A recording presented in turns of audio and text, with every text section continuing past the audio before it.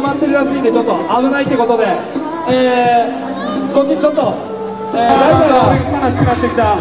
さあ見せれるもん全部見せてくれ。これがヒッチハイカー。ヒッチハイカー。右手親指上げてる人じゃないよ。さあこいつもブレーキついてない。そして柴田のジャストにはタワレコがある。すごく嬉しい。ありがとう芝うち葉が偉いわけじゃないけどこんな乗り方もあるんだよっていう。ありがとう芝1本のタイヤに乗って技をするっていうのはすごく難しい。肩で見ているより簡単ではない。でもこいつらはこんなに平然とこんなに楽しそうにやってしまう。これも日々の練習。やっぱり日々の練習。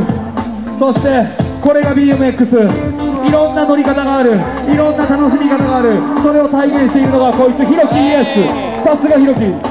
村松から今日は。ちょっと遠いけど大沢峠越えてやってきた高弘さあ高弘まずは軽くご挨拶なのにもうそんな本気モードでいいのか。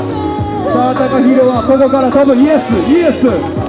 ごめんな一人にさせて桂語ってごめん乗ってくれ。桂これが桂さあ桂イエス。かっこいいのが見せたぜ。どんどんライダーは先に進む。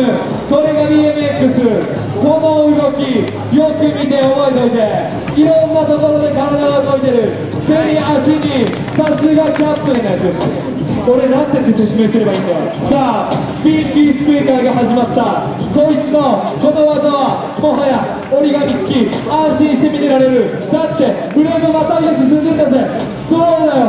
どうだよ拍手どうだよ。さあまだまだ行くぜ。さすが中ソ色が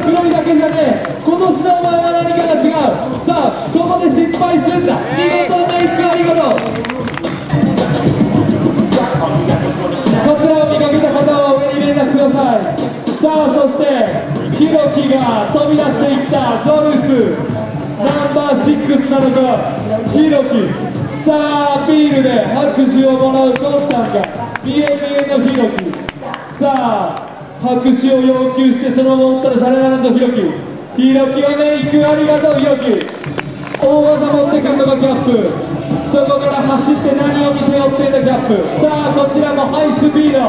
さあキャップはここからアップサイドのメガスピード耐える耐える。さすがキャップイエス。さあありがとうキャップ。ケンタさあスポンサーはサイクルショップ。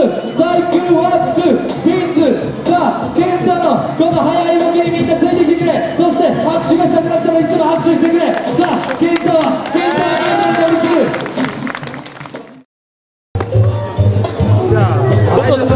お父さんそれおかしいって。ー